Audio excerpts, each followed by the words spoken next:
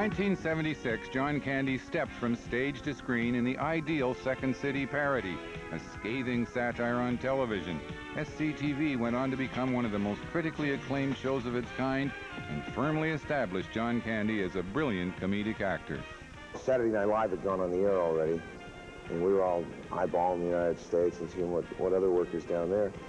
And our producers at the time figured they had to move fast, so they got a make-work project. They said, would you boys like to do a TV show? Yeah, all right. This was the beginnings of our knowledge in television and uh, how we learned our craft. Uh, never trust anyone, it was. I was in a, a, a bad hotel room in Wooster, Ohio, on tour with the Great Lakes Shakespeare Festival um, and up late and not able to sleep and turned on this thing that was called Second City TV. And the very first episode I saw was the Leave It to Beaver episode, where John was playing the beaver. The, uh, what I was seeing was, it, it was, it was like hearing the Beatles for the first time. Beaver, I'm afraid you're going to have to explain yourself. Gee, Dad, I hated him. Besides, he was always calling me a bum. Beaver, after all I told you about taking the law into your own hands, June, call the police. Boy, Dad! Wally, he's just going to have to learn his lesson. Maybe 35 years in the slammer will teach the beaver something. Boy, Wally, life stinks. Yeah, but so do you, Beaver. Yeah. Thanks, Wally. Well, SCTV generally celebrated characters. I mean, it's it, it, wasn't so much oriented toward jokes as character work and character observation. And I think John was the greatest character of that cast. When you sat in a room and brainstormed, John's concepts were the best. It was John that thought of throwing the TVs out the window, and it was John who thought of half of the really kind of interesting concepts that came up on SCTV. So I, I thought he could do everything, and I thought he could do everything, you know, exceptionally well. Can I be candid with you folks at home? Now tell me honestly, do you think that the Oliviers of this world, the Andy Devines of this world, do you think they had to beg for a crane shot? I think. Therefore, I am not. Can you imagine Wild Bill Hickok and Jingles begging for a crane shot? Well, I had to. I had to beg for every crane shot I ever got. I had to beg, borrow, and steal. And I got plenty and nothing. Ain't nothing plenty for me. I got the sun in the morning and the moon at night.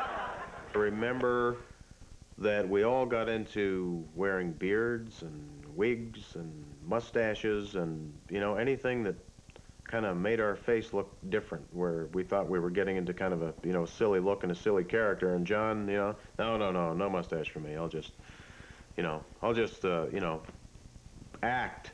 Hello, I'm Yosh Schmenge. And I'm Stan Schmenge. And, and we are the Happy Wanderers. Gene and I were writing a scene in, in an Edmonton hotel room when we were watching a local polka show. And boy, there's a Schmenge for you. And that light bulb went on over both our heads and said, yeah, yeah, the Schmenges. I think it was a very innocent, um, easy thing for us to do because it was a sensibility that we both, you know, kind of shared, which was doing comedy without without a very hard edge to it. You know, a comedy where you're not really putting anybody down, where you're not making fun of anybody.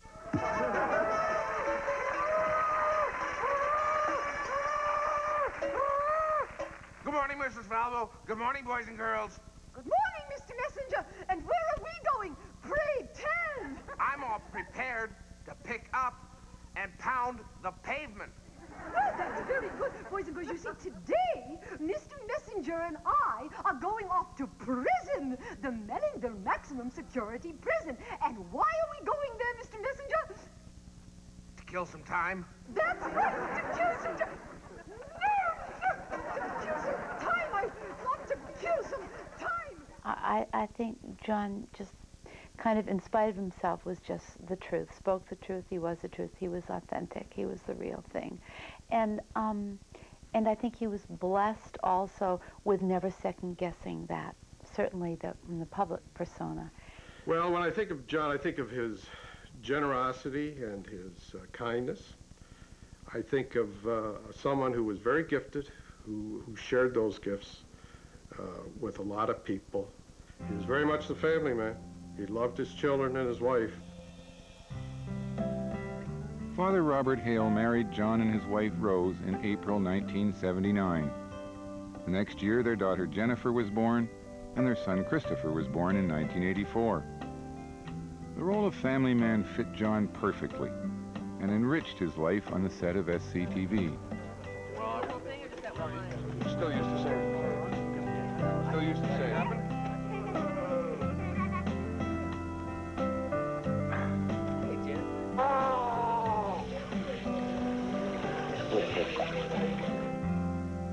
For John Candy, life was sweet in SCTV's fictional town of Melonville, on the air for over seven years and garnering 13 Emmy nominations, two Emmy Awards, and an ACTRA Award, SCTV created a loyal following. I was so impressed watching SCTV, uh, um, the work he was doing on that, because it was so close to, it's like, it was like my town, you know, Melonville was, I, oh I lived there, and all those characters that he did were people that I knew, and, you know, and I, I sort of I said, I know how he's doing this.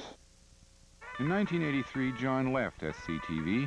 Taking advantage of his critical success and mass appeal on television, he headed for Hollywood, where, with films like Striped... I got cast in, in Splash, and uh, Ron telling me that John Candy was going to play my brother, I, I felt as though I was working with the legendary Second City TV alumnus John Candy, and I was thrilled. Yes, One more second, Mr. McCullough. I'm in Penthouse Magazine. They printed my letter. They printed my letter. Oh, listen, I'm very, very happy. I'm in the forum section.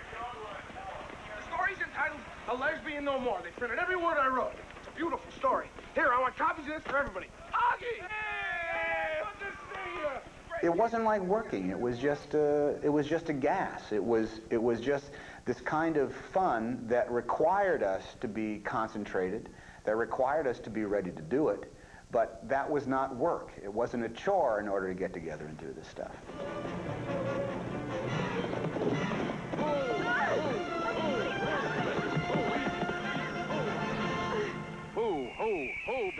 Who? Settle down. I believe you dropped your hat, Miss Henderson. Thank you. I, you saved my life. Well, Haven't we met? perhaps. And perhaps we'll meet again.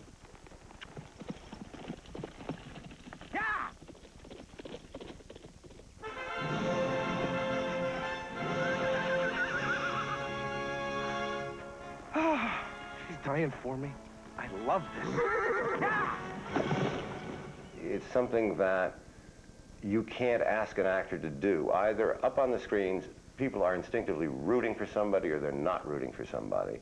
And John is just somebody that people rooted for. I'm so at home on a set.